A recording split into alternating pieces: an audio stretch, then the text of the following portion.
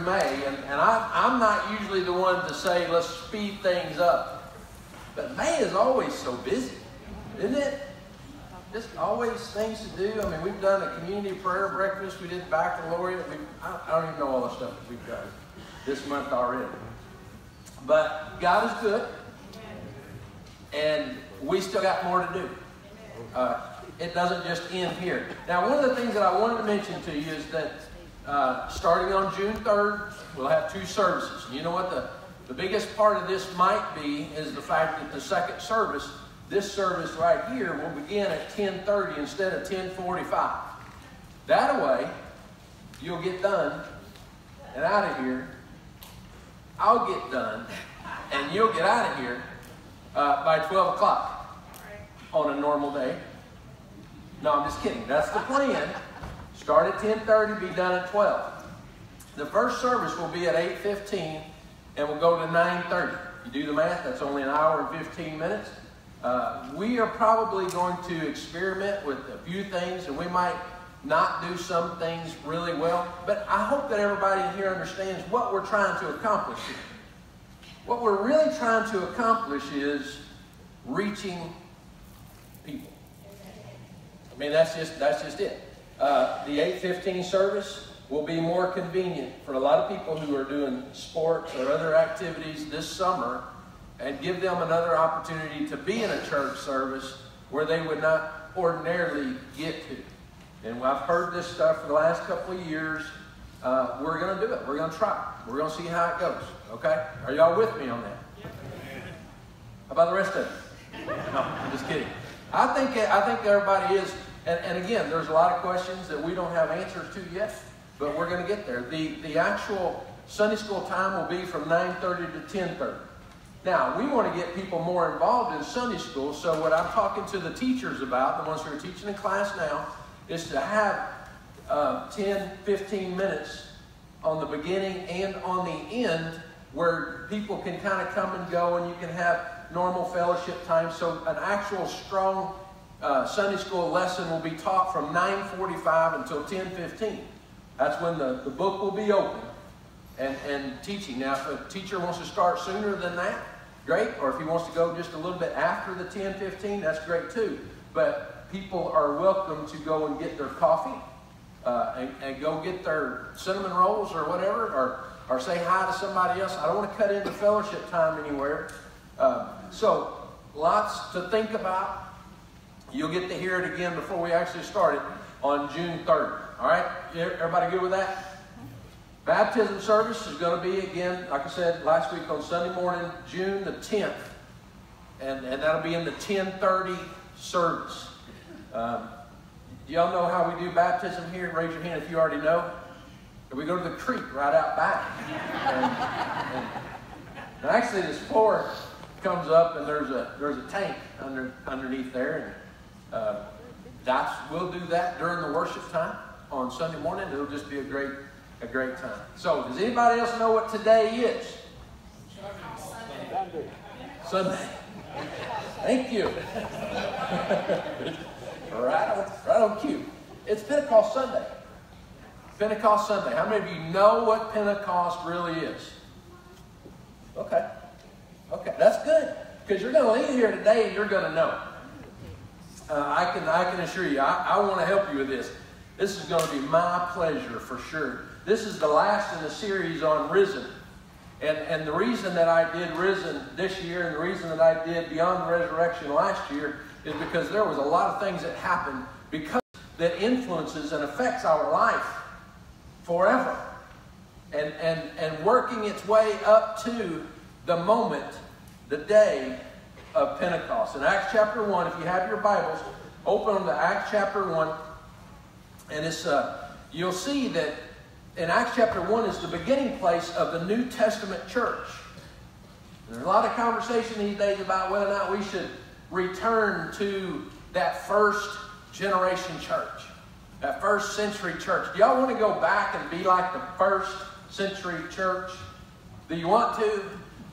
Because I'm not sure that I do. I mean, there was a lot of good things that happened in the first century church, uh, but one of the things that happened a lot was persecution. Uh, they were persecuted. They died for their faith, and they knew it. And That's why when people ask that question, they say stuff like, well, how do you know the Bible is true? You can go to, to 12, or uh, 12 apostles. You can go to 500 who've seen Jesus. You can go to literally thousands of people who had the testimony of Christ, and they did not recant their faith all the way to death. They were, they were persecuted, yes, but they were also killed for their faith. So in Acts chapter 1, starting in verse 3, it says, Jesus presented, presented himself alive to his apostles after his suffering by many infallible proofs, being seen by them during the 40 days and speaking of the things that pertain to the kingdom of God. And being assembled together with them, he commanded them not to depart from Jerusalem, but to wait for the promise of the Father, which he said, You have heard from me. For John truly baptized with water, but you shall be baptized with the Holy Spirit not many days from now. Will you just bow your heads and pray with me for just a moment? Father, we are just asking that your word would come through to our hearts and our minds today. That, that you would, God, allow me somehow to speak clearly concerning the things of your word. That you would let each heart receive clearly the things that come from your spirit today. We ask it in Jesus' name. And everybody said, Amen. So, what he's telling us here is, is Jesus spoke to his disciples and he taught them concerning the issues of the kingdom of God. He wasn't talking about church. Sorry, wait just one second.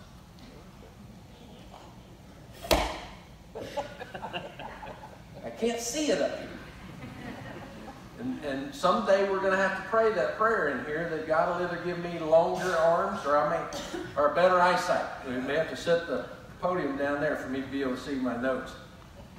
Jesus was not talking to them about church. He was not talking to them about denomination. He wasn't talking about Sunday school classes or programs in the church. Jesus was talking about the kingdom of God. We've lost that somehow in the 21st century we, we like doing church and we like doing it our way. What we've forgotten is the reality of the kingdom of God for today. Not the kingdom of the church, not the kingdom of a denomination, not even the kingdom of a religion, but the kingdom of God for today. In Matthew chapter 3, John the Baptist said, I indeed baptize you with water unto repentance, but he that comes after me is mightier than I, whose shoes I am not worthy to bear, he shall baptize you with the Holy Ghost and fire. Now, don't get nervous. Don't get nervous on me. I know a lot of you grew up just not even talking about the Holy Spirit much, and I'm, I, I, I, we, but we need to. Amen. The Holy Spirit is part of the Godhead Trinity: God the Father, God the Son, and God the Holy Spirit. Whether you realize it or not, you would never even have come to Christ. You would never have faith in Christ if it were not for the convicting power of the Holy Spirit. Jesus said, No man cometh unto the Father but by me. But in John chapter 16, Jesus also said that the, the Holy Spirit is convicting the world of sin, righteousness, and judgment. That's where salvation begins. It wasn't because you and I woke up one day and we were just so smart that we decided we're going to receive Christ into our life today. That's the work of the Holy Spirit. John's baptism was for repentance, for those who knew that they were falling short of God's expectation. His message was either be fruitful or be fuel for the fire of God. Is that right? You remember when he said every tree that does not bear good fruit is chopped down and cast into the fire? That is still the same option that we have today we are either going to be fruitful or fuel for the fire of God. John baptized for the knowledge of guilt, for falling short, for repentance, for the wrong things that we have done. But Jesus' baptism is for a change of life that produces fruit.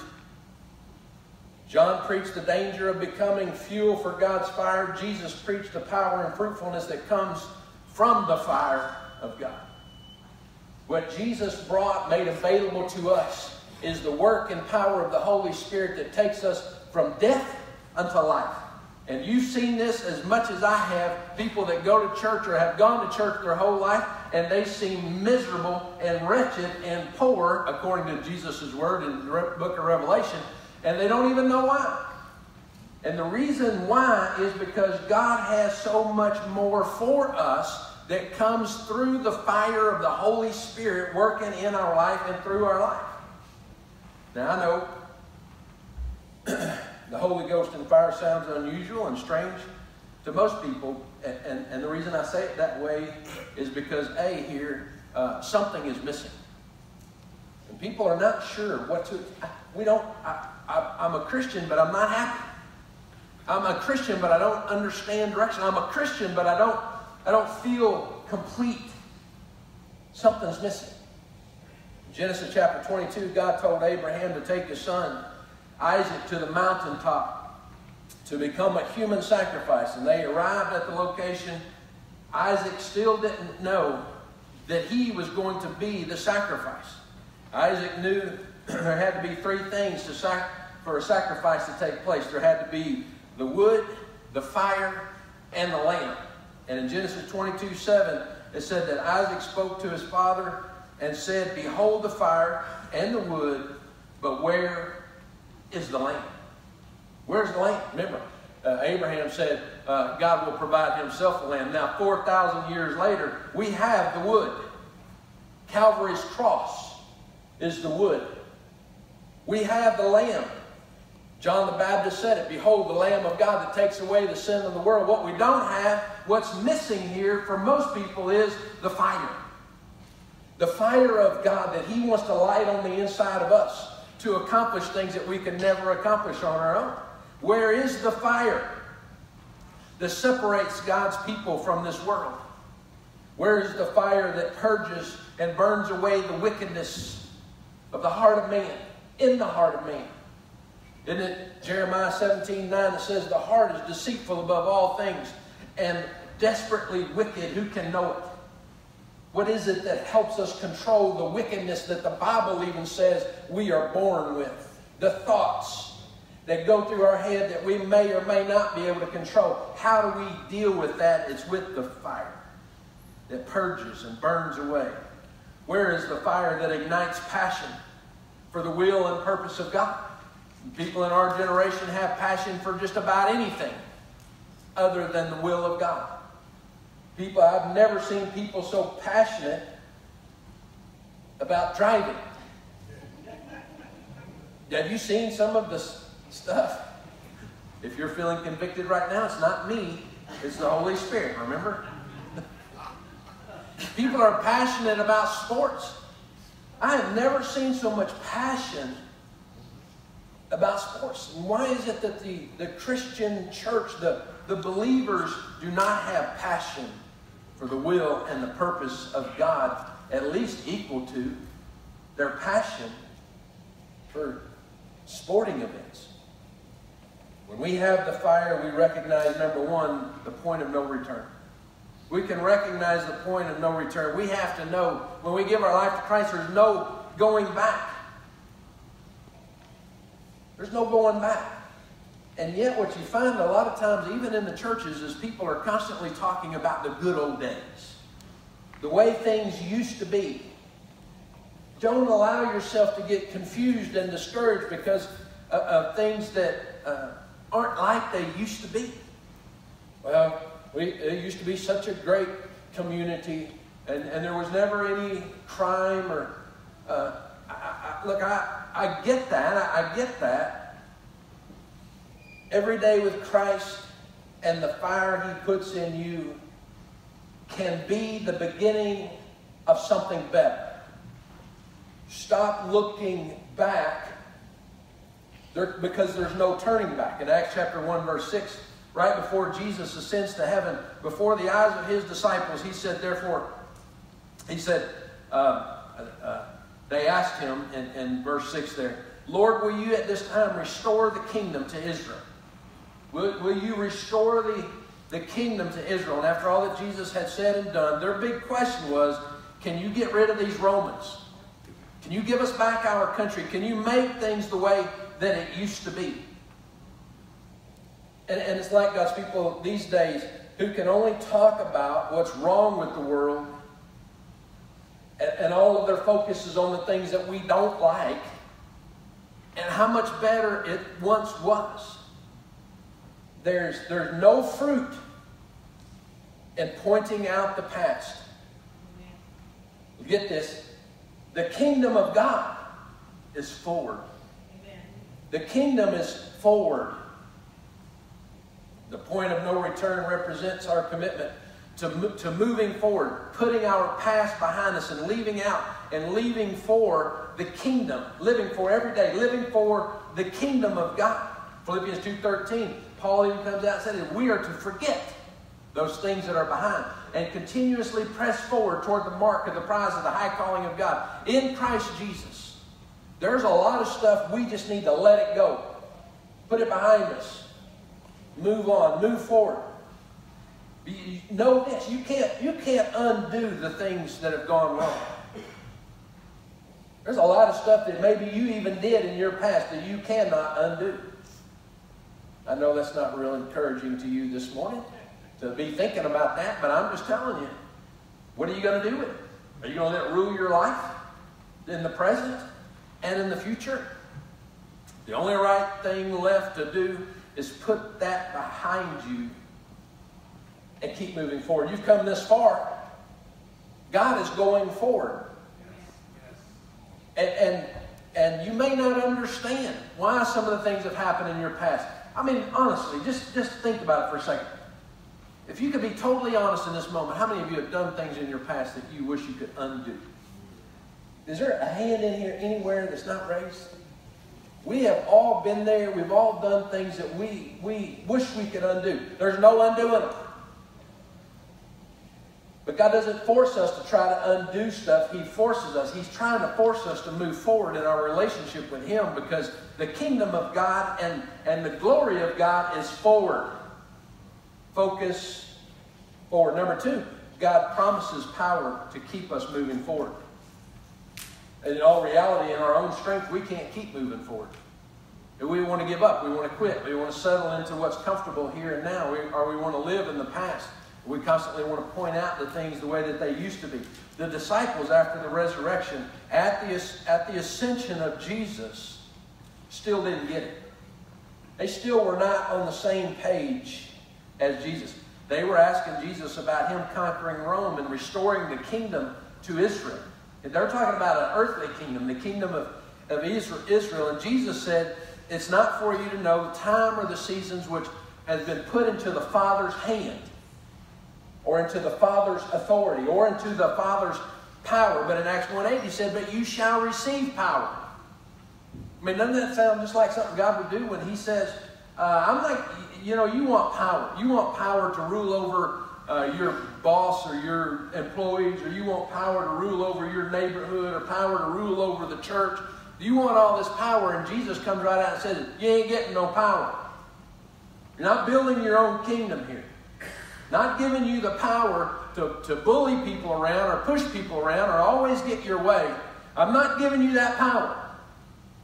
But you shall receive power after the Holy Spirit is come upon you, and you shall be witnesses unto me both in Jerusalem and Judea and Samaria to the uttermost parts of the earth.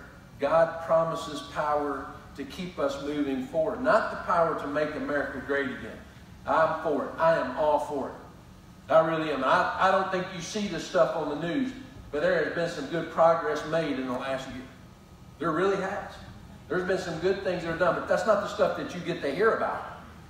All you get to hear about is the negative and the bad and the whatever. I'm not going there. It's not about whether or not we make America great again.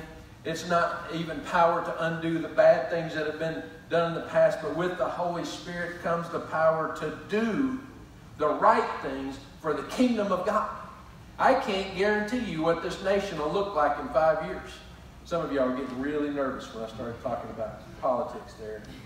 I seen I seen your look like wipe the sweat. I don't I don't know what this country will look like in five years or ten years. I don't know what this community will look like a, a year from now. There, there are so many things that we do not know, but I can tell you this God will give us the Holy Spirit and power to move in the direction that He wants us to go so that we can control who we are and what we do for the kingdom of God today. He gives us that power, He puts that on the inside of us. We might think it would be easier to believe and live for Christ back in those days, in the first century, like the disciples. But that, that's not the way the scriptures describe the events that took place. There were so many who saw the miracles, but refused the person of Christ. There were those who heard the word, the same word that you and I read in the Bible today, but they denied the truth of it. I mean, have you ever thought that way? Have you ever just thought, you know, if I could have seen Jesus walking on the water, if I could have seen Jesus multiplying uh, uh, five loaves and two fish and feeding 5,000, I believe I would, I'd be there just like the disciples. They really weren't there. I mean, of all the stuff that they did see, they still weren't there. Some of the most religious leaders of that day, they didn't believe Jesus was giving the word. He was pointing out the prophecies fulfilled, but they determined to kill Jesus. And when you look at the actions of those, even in the inner circle, those closest to Jesus, Judas sold him out for 30 pieces of silver. Peter denies him three times. Thomas doubts and says, I will not believe. They all scattered when the, the, the, Romans came and the guards came and the, the chief priests came to arrest Jesus. All, all 11 of them scattered and ran. James and John, some of the best of the disciples of the apostles, wanted to call down fire on innocent people because things didn't go the way they thought they should. They were not getting it. They did not understand. Even after the resurrection in Matthew, it said that when Jesus, uh, when they saw Jesus after the resurrection, that they worshiped, but some doubted. Not like Thomas. Not, I'm just not sure. In Mark, Jesus scolded the disciples for their unbelief and the hardness of their heart. I'm not just talking about any disciples, I'm talking about the top 11. They saw these things happen, they seen the whole thing transpire, and yet it says clearly that they had unbelief and hardness of heart. In Luke, it says Jesus appeared and had to ask them the question why are you terrified and why are you so doubtful? Why are you so full of doubt? In John, uh, Jesus told Thomas, remember, you, you believe because you have seen.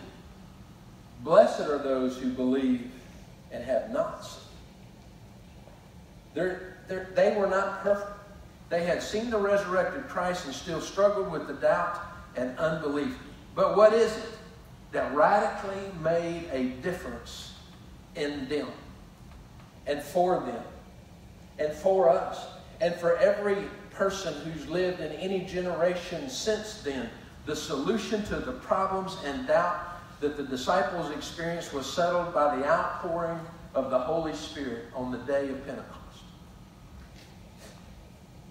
It transformed them from fuel for God's fire to fruitfulness by God's fire. You see that? The promise of God and the power of God come together for the good of humanity. In the, in the in the outpouring of the Holy Spirit. It's where the promise of God and the power of God come together. It was obvious, even those who walked with Jesus didn't have the power to pull it all together and serve God like they should. Jesus knew that they didn't have the power, so he kept talking to them about the possibilities. Uh, tarry in Jerusalem till you be endued with power from on high. He kept talking to them about the Holy Spirit. If, if uh, he said, it's better for you that I go away, because if I do not go away, the Comforter will not come. But if I go away, then he, the Comforter, the Holy Spirit, will come and he will show you things to come. He will lead you in all truth. Jesus kept throwing the possibilities out at them. When he said, You shall receive power, he was talking about an event that would radically change all of those who would believe. What you cannot do in your own strength or power, Jesus said, you shall receive power. You don't have to raise your hands or anything, but is there anybody in here that could use just a little bit more power to deal with the things of this world and the darts of the wicked one that are being thrown at us completely? totally, without fail, without stop, continuously. Amen. I mean, they're, they're, this is where we are. And, and, and a lot of people just say, well, I don't know why God's not doing anything. And at the same time, I think God is saying, I don't know why they're not doing anything. Right. What are we waiting on? If He's laid it all out here, why do we keep playing around in the fire? Are we, are we setting ourselves up to become fuel for the fire? Or are we following God's word that we may become fruitful by the fire of God? Number three, Pentecost is the day of decision, a turning point of kingdom power. The Old Testament reveals many miracles and secrets about God's power, uh, but mostly it comes through the prophets. In Hebrews chapter 1, verse 1, it says that God, who at various times and in different ways spoke in times past unto our fathers by the prophets, hath in these last days spoken unto us by his Son, whom he hath appointed heir of all things. Pentecost is about the Holy Spirit and the church. It comes through Jesus. It's because of the ministry of Jesus. Jesus now speaking through, through the Holy Spirit into our life, into our heart. What is Pentecost? Pentecost really, I, I know people get afraid of I mean, there's people that have gone to church for decades and, and don't even like the word Pentecost. Never said the word Pentecost, except we don't like it. I know that, but Pentecost is a very simple word. It simply means 50 or the 50th. In the Old Testament, it was the feast day. Uh, it was called the Feast of Weeks, Shavuot in Hebrew. It simply means 50 days or the 50th day after what? Anybody know? Passover. The 50th day after Passover. In Exodus 32, Moses is on Mount Sinai and he receives the tablets of stone, remember, with the Ten Commandments carved with the very finger of God. But it says that the people who were down in the valley rose up to play, and Aaron tells them, listen, these are the words of Aaron in, in verse 5 of Exodus 32. He said, Tomorrow is a feast day. A feast day. And everybody agrees that that is the Feast of Weeks, the Old Testament Pentecost, 50 days after Passover in Egypt. You remember how this Passover in Egypt went, right? Where, where uh, God said on the, the final plague, the death of the firstborn is going to happen unless you have blood over the doorpost. And you were to kill a lamb, and you were to eat the meat, and you were to take the blood and put it over the doorpost of your home, and the death angel would pass over your house. That's the first Passover. This Pentecost out in the wilderness when Moses on Sinai is the first day of Pentecost. But it just fell in line with the feast of weeks. They, those people made a golden calf. Moses comes down he wants to kill them. God wants to kill them all. Moses intercedes and says, uh, Who is on the Lord's side? Now, I don't know if you were to get into a big public area these days and ask the question, who is on the Lord's side? I don't know how many people would say, not me. But you draw a line in the sand, you go to, uh, I don't know, somewhere like Royal Stadium or, well, not these days because there's not more than a couple hundred people there, I think, these days. go to a Chiefs game, go to a Chiefs game, and everybody that's on the Lord's side is on this side of the 50 yard line, and everybody who's not is on that side. Now, they died. Those who were not on the Lord's side died that day. Do you remember how many there were? Anybody just shout it out. Crickets. I hear crickets. 3,000 died that day because they chose not to be on the Lord's side. Now listen. 50 days after Passover, the Passover of Jesus' sacrifice, Acts chapter 2, verse 1 says, when, when the day of Pentecost was fully come, they were all with one accord in one place, and suddenly there came a sound from heaven as of a mighty rushing wind, and it filled the house where they were seated. Peter goes out, preaches his first message after that. You remember how many people got saved? Shout it out if you know it. 3,000. The day of Pentecost. Old Testament Pentecost, 3,000 lost their life. New Testament Pentecost, 3,000 people gave their life to Christ and were saved. Pentecost is avoided by some people because of what it represents. Some people don't like the idea of miracles and manifestations of God's power. I'm not sure why. I'm not sure why any of us would think that somehow or another God is done. And that God has drawn a line in the sand somewhere, somewhere in the past and said, no more. Am I going to do anything miraculous or anything big or anything life changing? That's all up to you now. I'm not sure how we ever got that idea or how that idea ever slipped into the church. But I can tell you this for sure whenever you get to the point where you say God doesn't do miracles anymore, God cannot do miracles, I'm going to question that you know whether or not God is for real. What kind of relationship would this be if we didn't identify God for who He really is? What kind of a relationship would it be if you did not identify and know your spouse for who they really are? God is who He always has been. When, when Moses asked the question at the burning bush, Whom shall I tell him is sending me? He said, Tell them, I am that I am. Not I will be, not that I was, but I am. There's no other way to identify God except the same yesterday, today, and forever. Amen. You can't take the power away from God and still expect Him to do anything great in your life. And we've done that. We've shelved the power of God and we've shelved the miraculous, thinking that we're hurting somebody's feelings if we ask God for a miracle. Listen, I, I need a miracle. Tonganoxie needs a miracle. Amen. You got to have somewhere in your family that you need a miracle. Let's just quit pretending here and recognize our relationship with, with God for what it really is. If you believe Him and who He says He is, there is no limit to what He can do. You believe it? Amen. All right. Some people believe that Pentecost is the dangling carrot that is never attainable. Oh, they're talking about all miracles and manifestations, and, and I've never seen it. I've, I've heard it. It's just weird to me. That, the, the dangling carrot that's not attainable. Go back and read. Go back and read uh, the book of Acts. Some people believe that Pentecost is a, a once for all event, never be repeated. And I'm not just saying, throwing this at you. There's people that stand in the pulpit every Sunday morning and say, and, and they'll tell you what happened at Pentecost is over. That was a one time shot.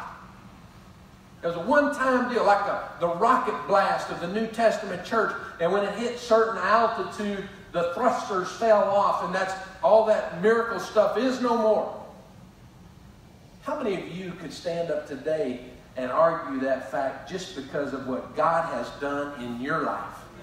You know that God has performed miracles. You've seen God do things that you cannot explain. And why we feel like we have to be able to explain it, I don't know. At what point in our life do we feel like we can understand the deep things of God? God gets to do whatever God jolly well pleases. And I'm inviting him to do it here, today, and in this community. Pentecost represents the birth of the New Testament church and the church age, and that is true. But listen, life is not supposed to end at birth. That is not natural. If Pentecost was a birth of the New Testament church, why do we think it ended there? Life is not supposed to end at birth. Pentecost is about the church but more than that, Pentecost is about the Holy Spirit. The Holy Spirit is the third person of the Trinity. The Holy Spirit is a lot of things, but the most important way to describe the Holy Spirit is about power. That's what Jesus said. You shall receive power after the Holy Spirit has come on you. But there's another adjective uh, uh freedom. He sets us free. Truth. He'll lead you into all truth. Peace and joy. There's a lot of adjectives that, that, that describe the Holy Spirit. But the best one, I believe, is B, and that is the Holy Spirit is here. He's here. And He's here for us. Right. You, you, you hear people singing sometimes and, and they're, they're worshiping God and it gives you goosebumps. Y'all ever get Holy Ghost goosebumps? That's the way we kind of play with it. And I, I got the I got tingled, you know, a, a, a quiver in my liver because of the song or the preaching or something, and it was, you know, this is what the Holy Spirit does. He connects with you. How, how this is a question, I prayed about it a lot. I've sought God over it. I fasted for 40 days and 40 nights asking the question Is it Laurel or Yanny?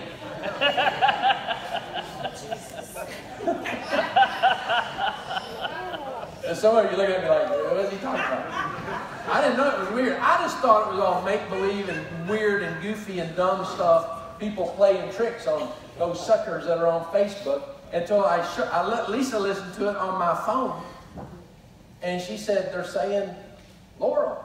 I said, No, they're not. They're saying Yanny. No, it's Laurel. And she finally just got tired of it. I asked her, I said, Who, who do you hear now? And she's like, I don't want to talk about it anymore. All of you who hear Laurel, raise your hand. Any Yannies in the house? I'm going to give you a third category. I don't care. I mean, it don't matter. But you know what that does prove?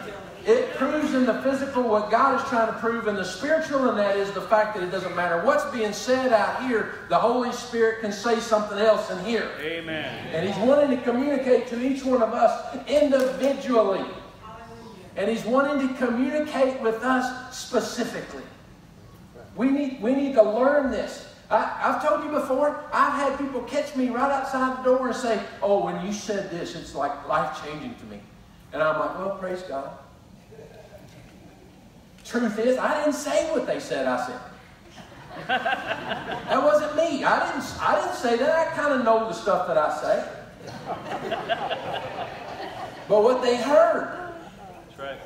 was from the Holy Spirit of God. You can go, and I used to love to go, and I'd listen to any preacher. I still will. It don't matter to me. I'll listen to anybody preach. You can still hear the Holy Spirit, even if it's one of those preachers you got no business listening to. They, they, you're not sure if they're using the Bible, the Koran, or the Boy Scout handbook. You know what I'm saying? But you can listen to somebody like that, and I believe the Holy Spirit can still speak to you. I really do. I believe the Holy Spirit can speak to you when you're talking to somebody up there, Brothers Market, about how fresh the meat is. I really do. I believe the Holy Spirit wants to communicate, speak to us all the time. Amen. If you're willing to listen, the Holy Spirit is here. John 14, 15. Jesus said, If you love me, keep my commandments, and I will pray the Father, and he shall give you another comforter that he may uh, that he may abide with you forever. How long is forever? It's forever. The Greek word there is paraclete, and it means the one who walks beside. And if he is the promise and he's been given, then he's walking beside us, you, forever. The Bible says, Jesus said that the Holy Spirit would bring power in Acts chapter 1, verse 8, that we already read. Jesus said he would bring freedom. Where the Spirit of the Lord is, there is liberty. Jesus said the Spirit will lead you into all truth in John 16. The Word tells us that the Spirit brings peace and joy. Romans 14, 17, I think, for the kingdom of God is not meat and drink, but righteousness and peace and joy in the Holy Ghost. Don't be afraid to talk about the Holy Spirit. Don't be afraid to talk about the Holy Ghost. If there's anything missing in the life of believers that causes fear and stress and doubt, it is the work and power and comfort of the Holy Spirit. He alone brings peace in our storms. So then, if God has poured out the Holy Spirit at Pentecost for the church, if He has given the Holy Spirit, then what is left for us? What is our part in receiving the Holy Spirit with the magnitude and impact of, biblical proportion? Now, I've been through a lot of, of church services where we, we, we heard them say, we're going to tarry here until you be filled with the Holy Spirit. We're not going to leave until you speak with tongues. We're not, we're not, we're going to keep doing this over and over again. We're, I've been through all those services. I want you to just, I want you to just do this and ask the Holy Spirit to help you. Just take a deep breath. Did anybody else do that? Relax. I'm not, I'm, I don't know what the Holy Spirit looks like in you. I'm not expecting anything. But what I will point out, and it comes from Acts chapter 1, verse 14, where it said that these, all them that were in the upper room, these all continued with one accord in prayer and supplication with the women and Mary, the mother of Jesus, and with his brethren. there's, there's three things in there actually, and, and I'm only going to point out two that we really need to look at, concentrate on, and focus on if we want the reality and the power of the Holy Spirit working in our life. Do y'all want them, yes or no? Yes. Yes? One of them is unity, and I'm not going to talk about it that much. We're going to do that here in a couple of weeks. Unity is important. They were all in one place, in one accord. That, they're not talking about a Honda Accord either. They're talking about unity, right? It's unity that they're dealing with. That's not the one we're going to talk about. Number one, though, is the fire is missing because we are not asking. The first one he said is pray. When he talks about praying, he's talking about asking. He's talking about communicating with God, yes, but asking is important to everything that God has promised us. In James 4 2, it says, We have not because we ask, ask not. You ask and receive not because you ask and miss. Didn't Jesus say in Matthew 7 7, Ask and it shall be given you, seek and you shall find, knock and it shall be open to you. Um, could, could, it be the problem we struggle with? We should, the most in life, the problem we struggle with most in life, we somehow or another um, would rather learn to live with it than to ask God to get us through it? Could it be that our the real help that we need in life, the thing that's missing, the thing that's hurting us most, that we've um, just learn to live with it. Maybe we've learned to live without something because we're not asked. We don't ask. I'm not real sure. I'm not real sure why we leave God out of the asking.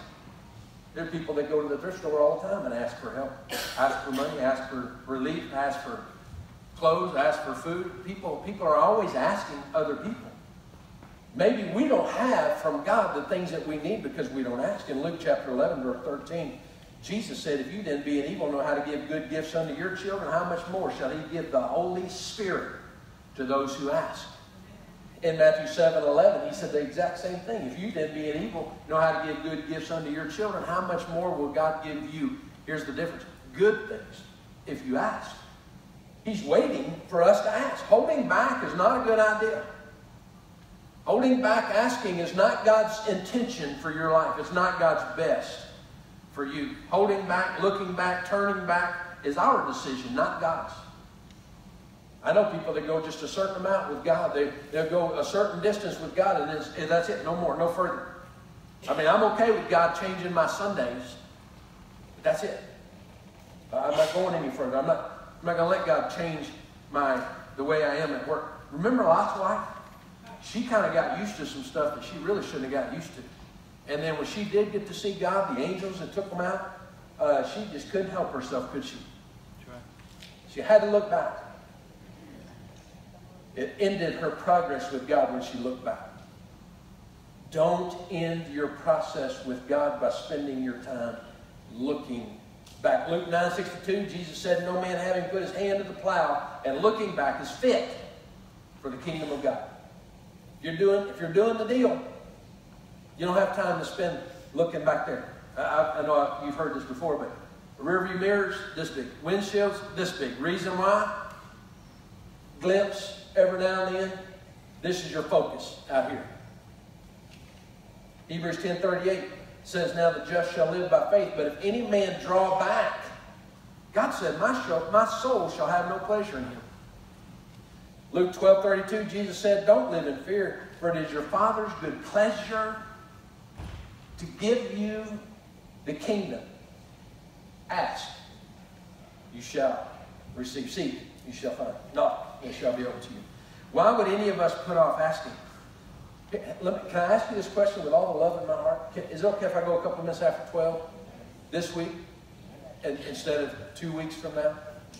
Is it okay? okay we're going to close. We're going to close pretty quick.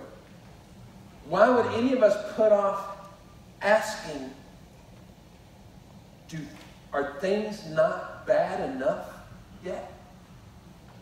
Are, are things in, in our generation, are they not bad enough yet for us as believers to start asking God? Specifically, in Acts chapter 2, verse 19, God gave this prophecy back in Joel chapter 2 also, and then it came to reality here. God said, I will show wonders in heaven above and signs in earth beneath, blood and fire and vapor of smoke. The sun shall be turned into darkness and the moon into blood before that great and notable day of the Lord come. And it shall come to pass that whosoever shall call on the name of the Lord shall be saved. Do things have to get worse before we get serious about the fullness of God in our life? Because it's going to get worse. Isn't that pretty much what the Bible talks about, prophesies more than anything else? Is that it gets more difficult. We're not supposed to have utopia here. I believe sometimes in this world God turns up the heat so that people will miss Him and turn to Him in faith. But the heat's going to get hotter. The problems are going to get big. Ask in faith.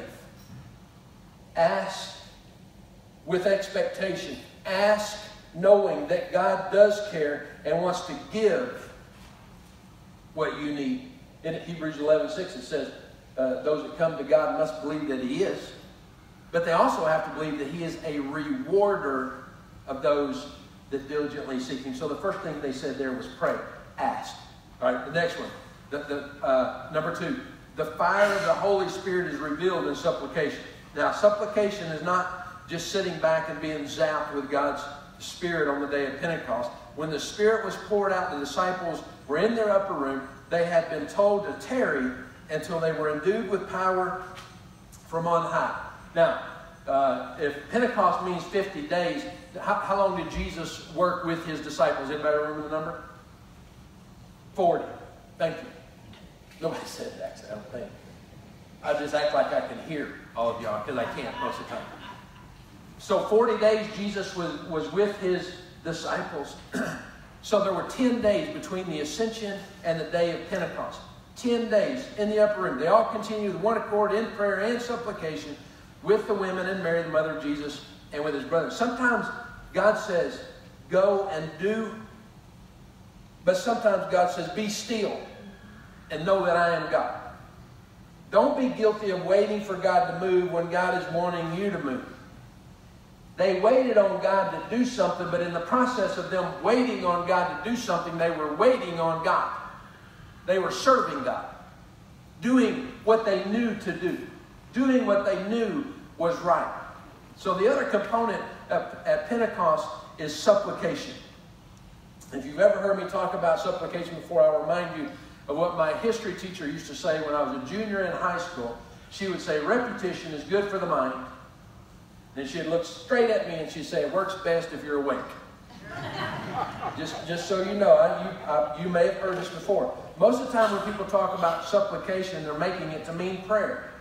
That's what we've heard, or sincere prayer, or deep prayer, or whatever. The problem with that is, is that in six of the seven times that this word is used in the New Testament, it is used alongside the word prayer, such as in this verse in Acts 1, where it says they continue with one accord in prayer and supplication. There are six Old Testament words that are translated supplication, six in the Old Testament. But there are only two New Testament Greek words translated supplication. The one in Acts 1, along with five other times in the New Testament, the word supplication in the Greek is the word thesis. None of y'all heard me talk about this before? Okay. Sorry. Desis, okay? D E E S I S. Desis. And it is about, I'm telling you, this, this can change your whole relationship with God and your whole way of living if you'll listen. The only English word that comes close to the, the Greek word desis is the word depreciation. You can look it up in dictionaries, however you want, Hebrew or, or Greek dictionary. Uh, look in the Young's Analytical Concordance. The only word they can find that really can be translated well in the English language is the word depreciation. You know what depreciation is. If you don't, go buy yourself a brand new truck, take it home, and then take it back up there and, and tell them you want to sell it back to them. Depreciation is the difference between the value that you paid for it and the value they are now offering to you. And most of the time it's what, 10, 20%. You lose when you drive a new car off of the lot. The word supplication, when used alongside the word prayer, carries the implication of depression because, I'm sorry, depreciation, be, becoming less, of, of less value, less in terms of importance less in terms of, of rights. You know, the, the better you become as a Christian, the more you'll realize the less rights you have. You give up your rights for the sake of others. John the Baptist said it like this when he discovered that Jesus was the Christ. He said in John chapter 3, verse 30, He must increase, I must decrease. That's depreciation, that's desis, that's supplication. In the upper room, they were not only praying, but they were surrendering parts of themselves totally, absolutely, completely. it's not, um, supplication is, is not about you talking to God, but me decreasing my self worth, my self decreasing, and God increasing in me. Supplication is about what you lose, what you give up, what you what you surrender, that, that He becomes more, more in your life, greater in value than yourself. Paul expressed, expressed it in a different way. In Romans 12, 1, y'all remember this one. I, when Paul said, I beseech you, therefore, brethren, by the mercies of God, that you present your bodies a living sacrifice. That's desis. Surrendering what I have to who he is. In Galatians 2.20, Paul said, like I am crucified with Christ. Nevertheless, I live, yet not I. It's no longer my life. It's no longer about me. That's desis. That's supplication. That's surrendering what we have for something bigger, something better, something more. They were in the upper room. They were praying, but they were there because they surrendered a part of their life. Supplication is all about what you give up to become everything God wants you to be. You want the Holy Spirit working in your life? Recognize the fact that you need to surrender to God. That's what happened in the upper room.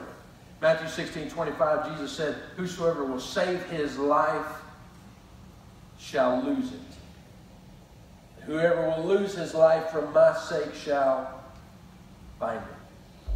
I'm going to ask the worship team, if you would, to come on up, and they're going to sing as we as we go out here today.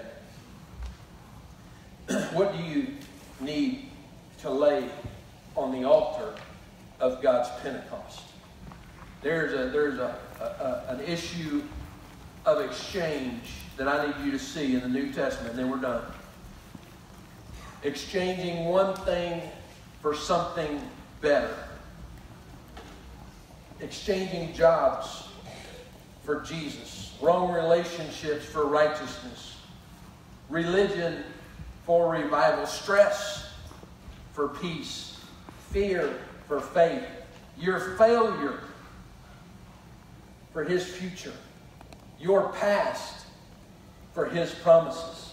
It's like Isaiah 61 3, where it said, To appoint unto them that mourn in Zion, to give unto them beauty for ashes, the oil of joy for mourning, the garment of praise for the spirit of heaviness that they might be called trees of righteousness, the planting of the Lord, that he might be glorified. But it doesn't end there. In Luke chapter 4, verse 18, Jesus said he came to, to, to preach and give the gospel for poverty, healing for the brokenhearted, deliverance for the captive, sight to the blind, freedom for those who are oppressed.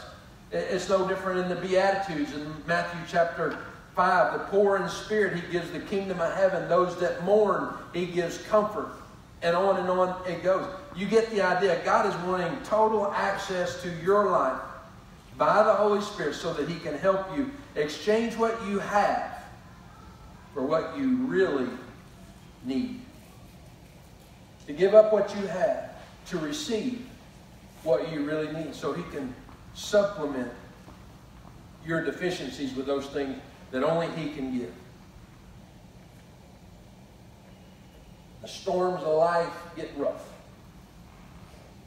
When it looks like there is no hope. When it feels like everything is going wrong and everything is going against you, the Holy Spirit is the one who's here to bring peace and comfort and boldness to get you through. Not just to get you through, but to get you through victoriously. Amen. Let's all stand together, if you would, with every head bowed and every eye closed for just a moment. See, you're going to see something that, that we're about to do. No, no, no miracle in the moment.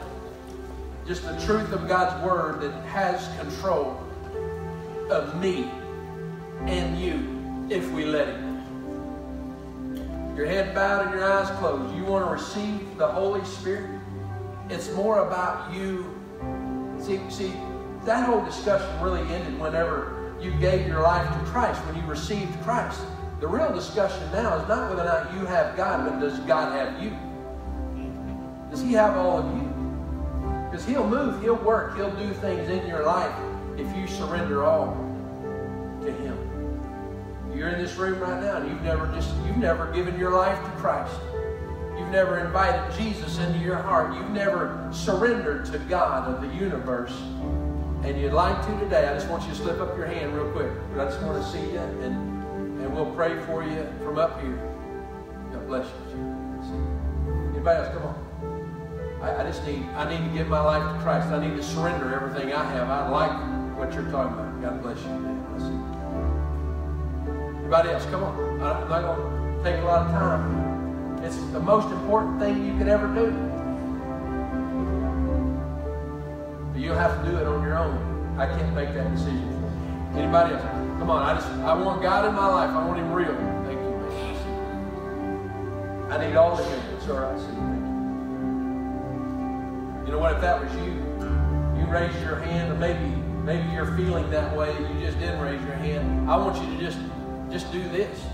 Just say something to the effect: God in heaven, I'm a sinner. I need a Savior, and I understand Jesus is your son and he died for my sins. I'm inviting you into my heart. Take over my life. Show me the right way to go from this moment forward. With the heart, man believes unto righteousness. With the mouth, confession is made unto salvation.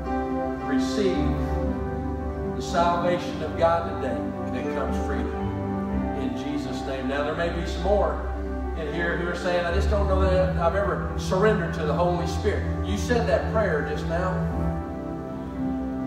That's what you need. The Holy Spirit will take it from here. You have some things you need to put on the altar of God's sanctifying fire. Make this the moment. Make it now. Surrender to the leadership of the Holy Spirit. He wants to do some new things in your life and in your heart. I'm going to close in prayer. Our elders are moving their way toward the front. You gave your life to Christ today. You just walk by and tell them, I gave my life to Christ today. You're, you're asking for the Holy Spirit to take charge. I want you to just walk by them and say, I, I need the Holy Spirit to take me through the storm that I'm going through right now. I need, I need to give my life to the Holy Spirit. Let, just make sure you do that on your way out. Heavenly Father, we thank you for your for your word, for, the, for your truth, what it means to us as we receive it. God, your word says that the Holy Spirit will reveal truth to us. He'll, he'll guide us into all truth. He will show us things to come. He will convict us. But he'll also bring comfort and joy and peace in our life. And so, God, I'm asking for every person in this room who's willing to surrender their life today that you would make the Holy Spirit known. God, fill us afresh with your Holy Spirit. Show us the way when it looks like there is no way. Bring healing, God, where healing is needed. Bring hope where there doesn't seem to be any. Show yourself strong in the lives of your people, this people. We ask it in Jesus' name, and everybody said, Amen. Amen. God bless you. Love you guys. Give the Lord a hand before you leave.